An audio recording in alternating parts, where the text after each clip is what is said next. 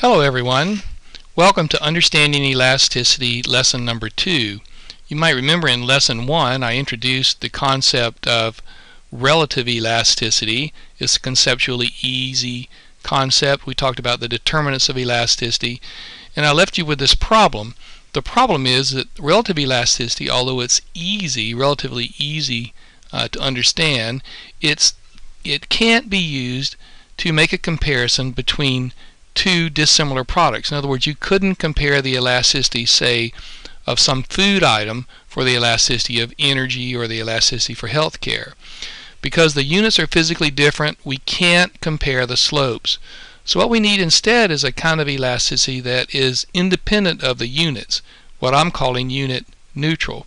Now your books don't really make this distinction, which I think is a big problem they, they just say elasticity, but they almost always mean unit neutral elasticity, especially when they show you the formulas. So since they, they don't use that term unit neutral, I'm going to drop it in another slide or two. But remember, all of these mathematical formulas I'm about to show you uh, relate to unit neutral elasticity. Alright, so there are three formulas and you're probably going to have to memorize them. The first is uh, what I call a definition that is, uh, unit neutral elasticity is simply the percentage change in Q divided by the percentage change in P. And then there are two, in the old days we called them working formulas. That monster that you see there is called the arc form, and it's the formula that you would use for actually calculating elasticity if you were given two points on a demand curve. And then there's this other formula called the point formula. This is the one that you would use if you were going to calculate elasticity and you're given only a one point, one specific point on a demand curve. So again, the definition, the arc form, and the point form. Let me move my image out of the way. There you go. Now they all look very different from each other, but they're not. They all come from the same basic root. And uh, I don't see any introductory textbooks that uh, stress that point. You probably don't even need to know. You could just memorize the formulas if you want.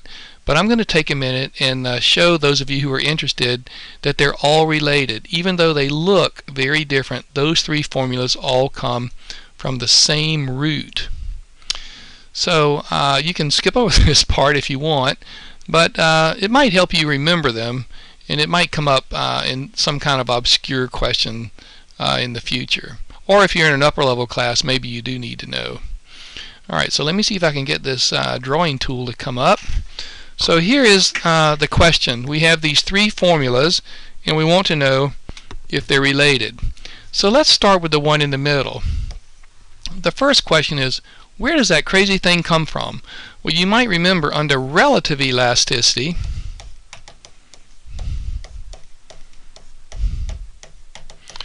Under relative elasticity, we were just comparing slopes. And if you think about what the definition of slope is, slope is just rise over run.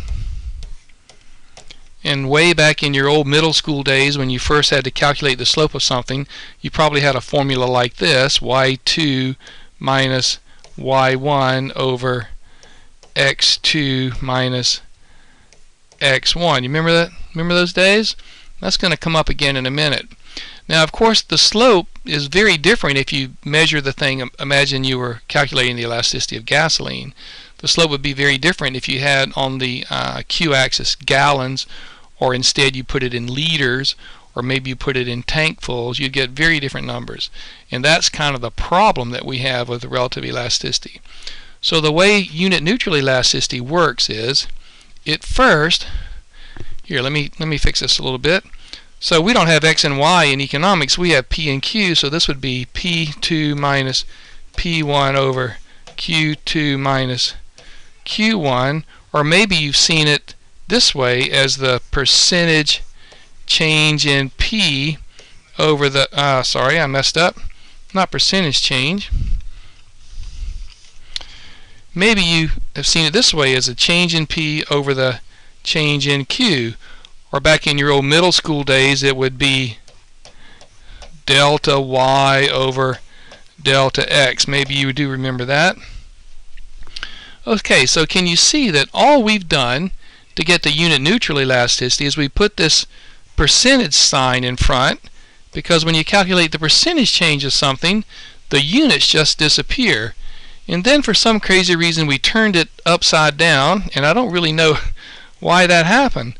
But when we get to unit neutral elasticity, it's the percentage change in Q over the percentage change in P. And that's where that definition comes from. It's uh, very similar to the uh, formula for slope. It's kind of inverted for some reason that I don't know. And instead of having the actual changes in P and Q, we calculate instead the percentage changes. Okay, so I need this white space. I'm going to erase all that. So that's where the definitional formula came from. Now the next thing I would like to show you is that the definitional formula is exactly the same. Oh, that thing, there it goes. The definitional formula is exactly the same as this arc form that we have over here on the left. And uh, here's how you can see that. If you ever calculate the percentage change in something, it is simply the difference in two numbers divided by the first number.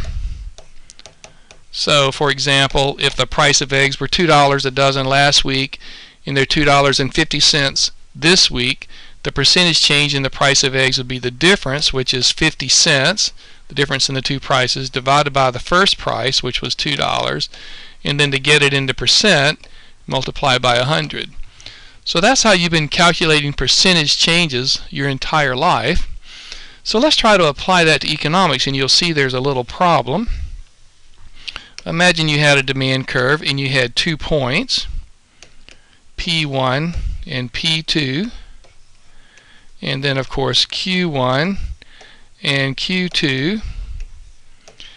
And so if you wanted to calculate the percentage change in Q, it would be the difference in the two Q's, which would be Q2 minus Q1 divided by the first Q. Well, there isn't a first Q. There are just two. Neither one is first. And so the way we get around that in economics is we put in the denominator not Q1 and not 2Q, but the average of them. So we write it like this, Q1 plus Q2 divided by 2. Okay?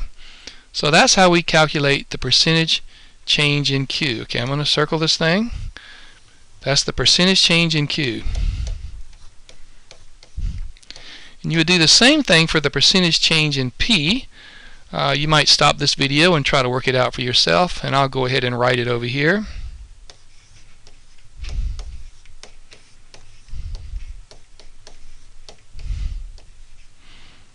Okay, so that's the percentage change in P. Now when you put those two things together, it looks very similar to that formula that I have up there in the top left corner, except for those two twos. So what happened to those two twos? Well, those of you who are really good at complex fractions, if you put that uh, that monster expression in Q over that monster expression in P, you have this huge thing, and those two twos cancel out they will cancel out and you're left with this formula that you see over here. Let me see if I can mark it. The two twos cancel out.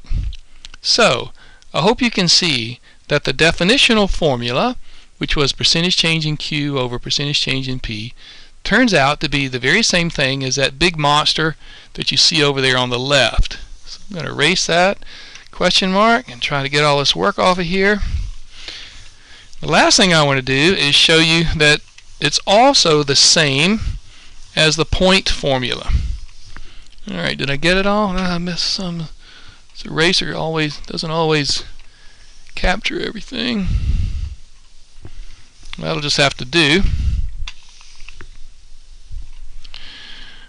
Alright, so the way I'm going to show that the point formula, which is the one on the right, is equal to the arc formula is I'm going to take the arc formula and I'm going to manipulate it a little bit.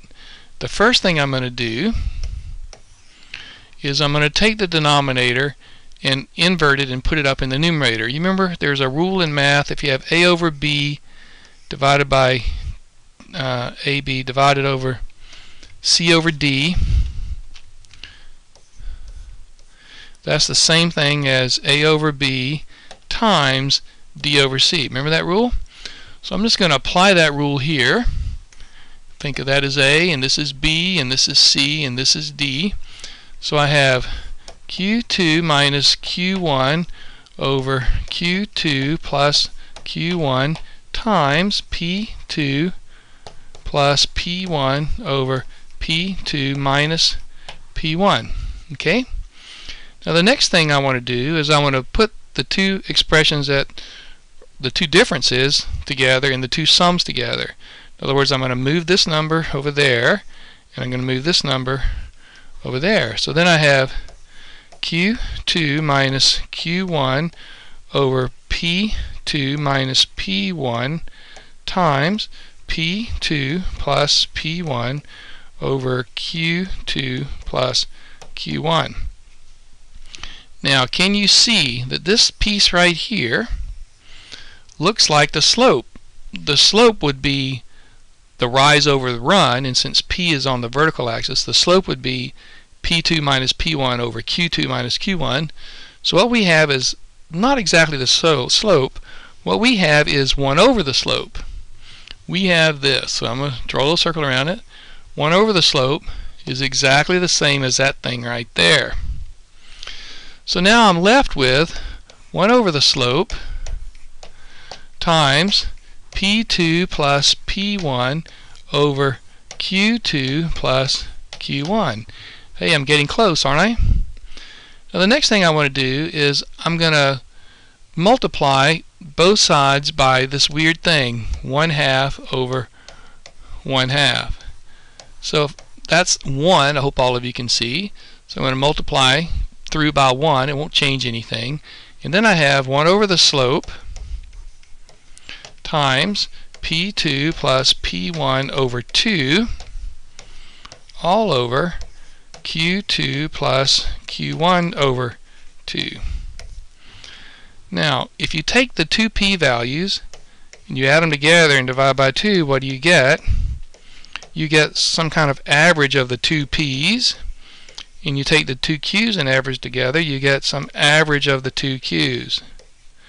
Now, I hope you can see that this thing, which we now have, is the point formula, and we started we started with this.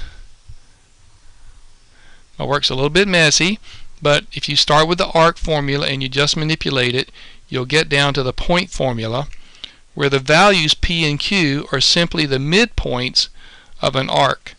So you'll see this again in another lesson when we actually uh, work some of these problems. And again, you probably don't need to know uh, any of this if you're in an introductory class. But uh, you, you could probably just memorize those three formulas.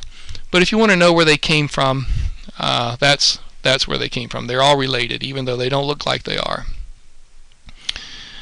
Alright, so here I am back. Some classes use uh, calculus, and if you know a little calculus, there's another way to write the point formula. It's not really needed, but uh, especially in an introductory class, but it does it is useful later. So the point formula, which was 1 over the slope times p over q, becomes the partial derivative of q with respect to p times p over q. So if you're given a demand equation, especially later if you have a real complicated demand equation, it's much easier to calculate point elasticity using the calculus than it is using that algebra formula. But for 99% of you, uh, the algebra formula, 1 over the slope times p over q, will be fine. All right, yeah, so I just said, yeah, it looks, it looks harder, but it's not. Trust me, it's really easier. okay, so that's the end of Understanding Elasticity Lesson 2. This lesson is really about the three formulas. And uh, the next lesson, Lesson 3, is a little easier. It's the total revenue test. And uh, I'm sure you're going to need to know that too. So I hope uh, this lesson is helpful and uh, good luck.